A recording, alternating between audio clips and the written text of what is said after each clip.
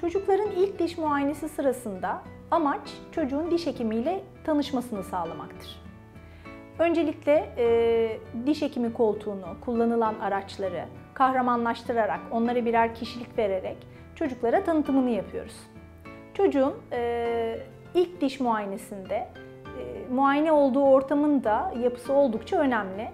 Genellikle e, biz pedodontistlerin e, ofisleri çocukların ilgisini çekecek sevimli çizgi roman kahramanlarıyla, çizgi filmlerle e, ve buna benzer şeylerle doludur.